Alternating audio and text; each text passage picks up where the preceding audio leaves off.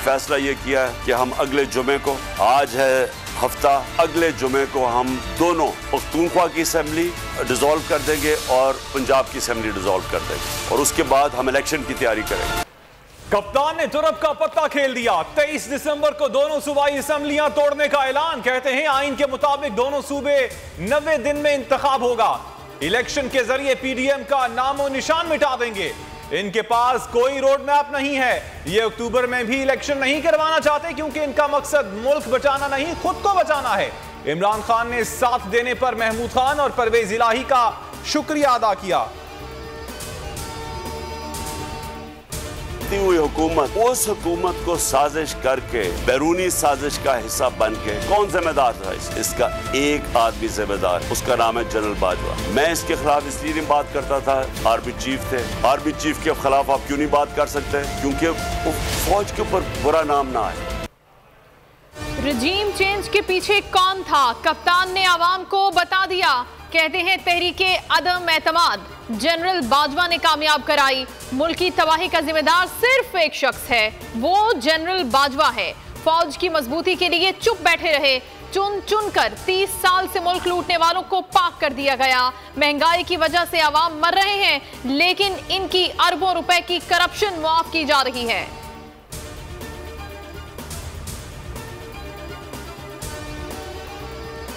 कप्तान का असम्बलियाँ तोड़ने का ऐलान। पीडीएम परेशान। मौलाना फजलुर रहमान इस्लामाबाद पहुँच गए। अगले हफ़्ते इजलास बुलाने की तैयारियाँ। पीडीएम इजलास से कबल नून लीग की सीनियर कयादत का इजलास भी तलब। पीपल्स पार्टी ने भी अहम इजलास बुला लिया।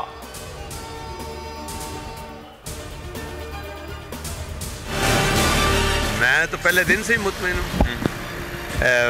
बड़ा बड़ा पुराना उनके साथ है। उनको, उनकी सपोर्ट में। और अल्हम्दुलिल्लाह, बिल्कुल सब मुतमिन। जमान पार्क में बड़े फैसले से पहले बड़ी बैठक हुई। वज़ीर आला पंजाब, चौधरी परवेज इलाही मोनिस इलाही और हुसैन इलाही भी शरीक हुए। इमरान खान ने कहा, पंजाब और के पी असम्बलियों की तहलील हमारा आईनी हक है। काफ लीग मुस्तकबिल में भी इतिहादी रहेगी। परवेज इलाही ने कहा कि पहले दिन से इमरान खान के साथ हूँ। पंजाब असम्बली इमरान खान की अमानत थी, जो लौटा दी।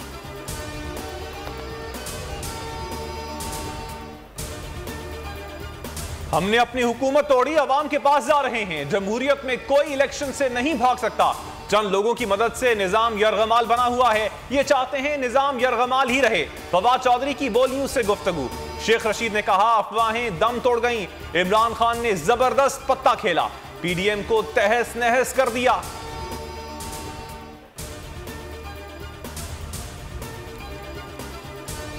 मुल्क बचाओ और शबाज शरीफ को भगाओ। आप मुझे बताएँ नून लीग किधर है? पीपल्स पार्टी किधर है? मौलाना फजल रहमान साहब किधर है? ये सब चू चू का मरबा बन चुका है। देखो ना एक सच्चा ते बड़ा बड़ा लीडर है। पाकिस्तान वास्ते नहीं वो पूरी उमते मुसलमान वास्ते लीडर है। लाहौर लिबर्टी चौक पर बड़ा पार show, Islamabad F nine park. Pindi में कमेटी चौक, फैसलाबाद में घंटा घर चौक पर बड़ी स्क्रीनें नस्ब गुजरात गुजरावाला और लाहौर, मुल्तान में भी शहरी जमा हुए। मुल्क बचाओ, इलेक्शन कराओ मुहिम के तहत शहर शहर रैलियाँ। अवाम का मुल्क में फौरी आम इंतबात कराने का मुतालबा।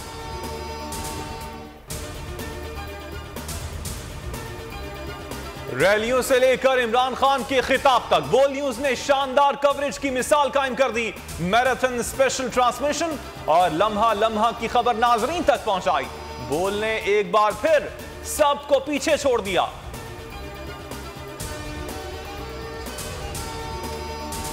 हुकूमत ने मीशत के बाद क्रिकेट की तबाही का प्लान भी बना लिया नजम सेठी की वज़ीर आज़म से मुलाकात। शहबाज शरीफ का नजम सेठी को दोबारा चेयरमैन पीसीबी बनाने का इंदिया रमीज राजा को तब्दील करने का इम्कान। हुकूमत का डिपार्टमेंटल क्रिकेट की बहाली का भी फैसला।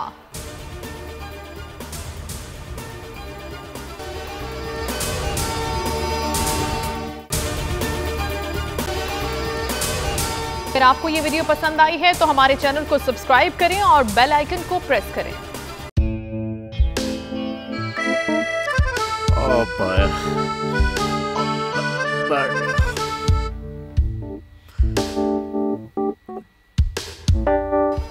इंतशार से निकलने का वाहिद हल इंतबात हैं।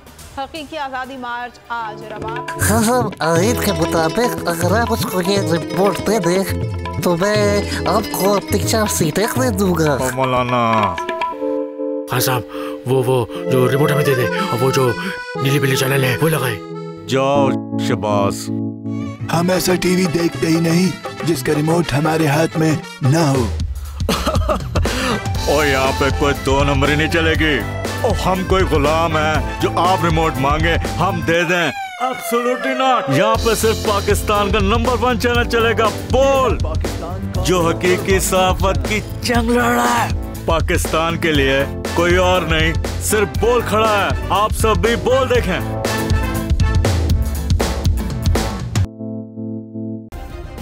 सब्सक्राइब करें और बेल दबाएँ ताकि कोई खबर रह न जाए।